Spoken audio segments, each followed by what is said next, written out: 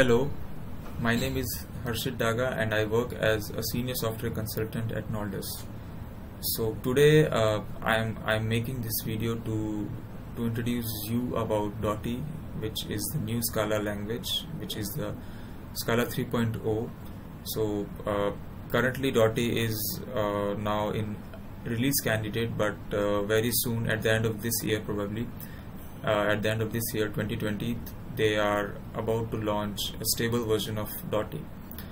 Okay, so uh, so before starting with Dotty, uh, uh, you, you need a basic setup of Dotty on your system. So so the very first thing is like you need to have IntelliJ IDEA version 2020 or more on your on your system.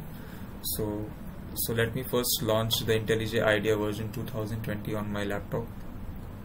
Okay so so here here I launch a version. So and then let me create a new project here.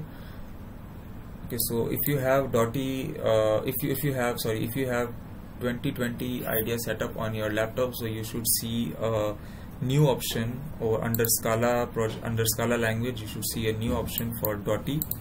So click next and give a very nice name to your project. I'll, I'll name Dotty starter. And uh, let, let this java version be 1.a and give it the location. So for me it's going to be desktop and finish. So within some fraction of seconds you should see that your SBT project should be available for use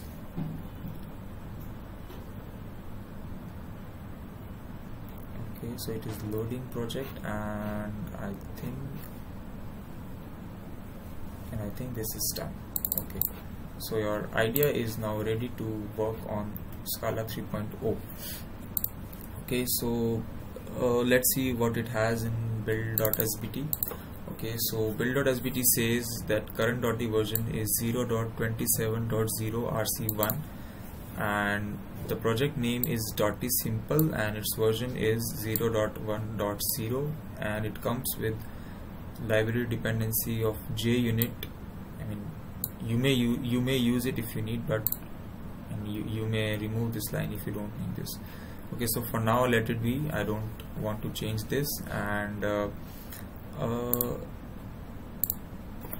let's see what you what you have in main okay so it has a main starter point starter object of the application.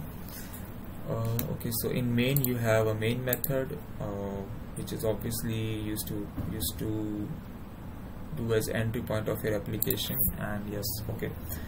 So this so so the, the way it is written is uh, is like java style or you can say scala 2.0 style of writing main main entry point of your application. So so another another way is to uh, another way is to extend your object with app trait and uh, and write your piece of code inside that object. But but what Dotty says Dotty says is to write your main application launcher like this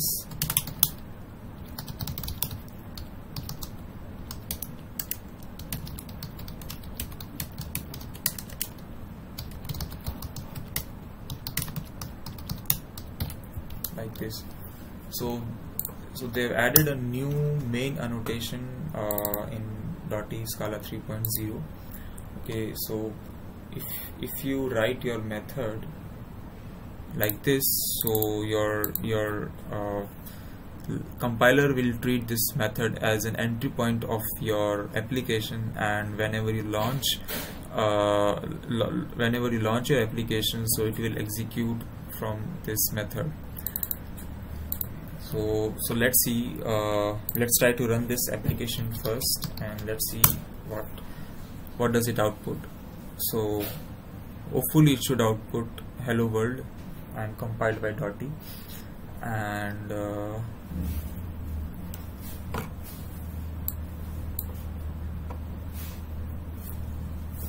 and yep it's correct. So as you can see you you as you can see uh, this is the output which which uh, which was printed when you run this application. Okay so uh, so another thing is like uh, what if you want to have um, command line arguments for your application? So what you can do is like uh, you can write something like this. As as you used to do it in any your Scala 2 and uh, so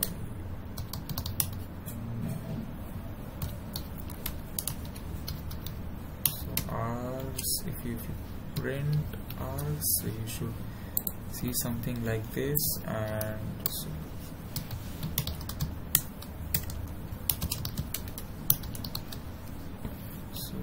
let me run it in different way because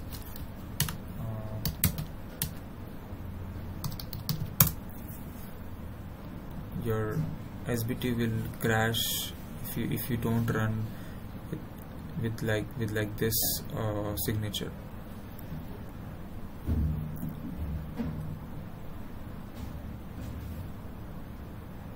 So yes. So as you see uh, two lines are printed successfully. The second one is the list of arguments which are which are printed on the console. So yeah so so this this is the first change that that uh, has come up with. So another thing is another fancy thing that Dotty is giving you is like you you can write something like this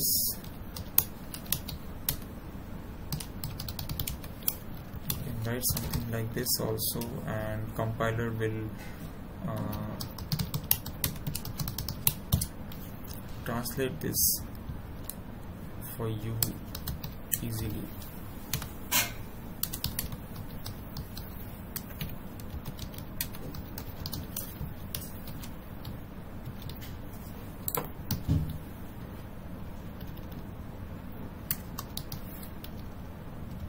so if you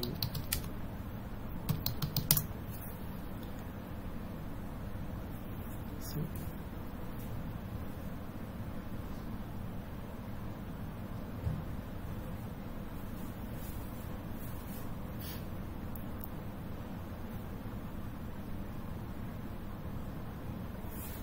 yes. So as you can see uh, compiler the compiler easily translates this command line arguments into your your uh, method arguments. So one one so the first argument is one and the second argument is taken into the second parameter and rest all other arguments are taken as a list in other parameter so this is very very easy and uh, very nice to use and so yeah so that that is the very first thing that I wanted to discuss. And the second fancy thing that Dotty has come up with with this is like the optionals. So it's, it is now it is now an option to not use the braces uh, in your applications like this. So if you can see so I've removed the braces and your your application will still be running fine without any issues. So uh, so if you if you if you don't want to use braces inside your application so make sure you you use a proper indentation. Uh, so like I've used in this is the indentation of two blank spaces. So if your if your method starts at column 0 so the body of method should start from column second. So two blank spaces 1 and 2 okay so by chance if you miss to use two blank spaces let's say here here if I give only one blank space so the compiler will show you an error that something is not right with your application and yes yes. It's correct compiler is giving you an error that something is not right with your application. The start of this line does not match any of the previous indentation widths. So, correct. And correct the indentation and run it again.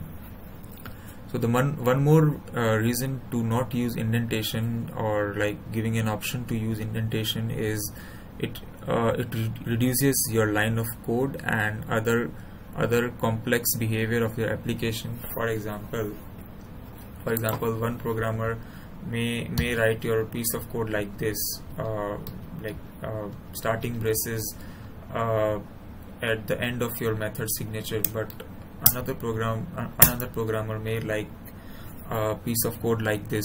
Both the cases are correct but it gives a confusion which which one is more correct and which one should uh, should be more feasible. So like Dotty has given an option to not use any one of them rather rather use proper indentation and that's it. Okay so so yeah that's that's all for this video. Hope you hope you like the video. Thank you very much